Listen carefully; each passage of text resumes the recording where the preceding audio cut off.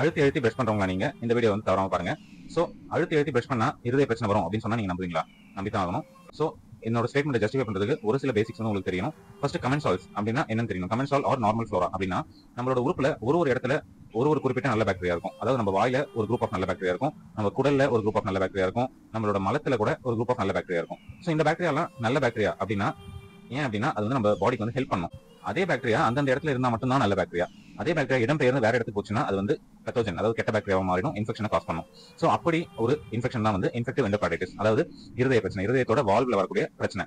இது வந்து பிரஷ் பண்ணும்போது நம்ம ரொம்ப அழுத்தி அழுத்தி பிரஷ் பண்ணோம்னா நம்ம ஈரல்ல ஏற்படுற டேமேஜ்ல ரத்த கசிவு ஏற்பட்டுச்சுன்னா அப்போ இந்த வாயில இருக்கக்கூடிய நல்ல பாக்டீரியா ஃபார் எக்ஸாம்பிள் ஸ்டெப்டோகாக்கஸ் அப்படின்னு போட்டு- அப்படின்னு சொல்லக்கூடிய ஒரு நல்ல பாக்டீரியா அந்த ரத்த கசிவு ஏற்படுத்த அந்த ஏற்பட்- ஏற்பட்ட அந்த கேப் மூலியமா உள்ள போச்சுன்னா அந்த பாக்டீரியா போய் ஹார்ட் ரீச் ஆயிடும். ஓகேவா ஏன்னா இம்பியூர் பிளட் எல்லாமே வந்து ஹார்ட்ல போய் சேரும். நம்ம சின்ன வயசுல படிச்சிருப்போம். ஸோ அந்த பாக்டீரியா போய் இருதயத்தில் சேரும்போது ஆல்ரெடி இருதயம் பலவீனமா இருக்கவங்க எல்லாம் வந்து ஆல்ரெடி பிறப்புலேயே வந்து ஹார்ட் வால் டேமேஜ் இருக்கிறவங்க இல்ல இருதயத்தில் ஓட்டை இருக்கிறவங்க இல்ல ஆபரேஷன் பண்ணி ரத்த ஸ்டென்ட் வச்சவங்க ஆபரேஷன் பண்ணி ஸ்டென்ட் வச்சவங்க இவங்க எல்லாருக்கும் இந்த பாக்டீரியா போய் அந்த இடத்துல உட்காந்து ஒரு சில வெஜிடேஷன்ஸ் அப்படின்னு சொல்லுவாங்க. அதை காஸ் பண்ணும். அப்போ வந்து இன்ஃபெக்டிவ் எண்டோகார்டைட்டிஸ் அப்படின்ற கூடிய இருதய பிரச்சனை வந்து உண்டாகும். ஸோ இதை தெரிஞ்சுக்கோங்க. அதனால அழுத்தி அழுத்தி பிரஷ் பண்ணி பல்ல வந்து ரொம்ப சுத்தமாக வச்சுக்கணும்ட்டு ஈரல்ல ரத்தம் வர அளவுக்கு கூட வர வர அளவுக்கு பிரஷ் பண்ணாதீங்க.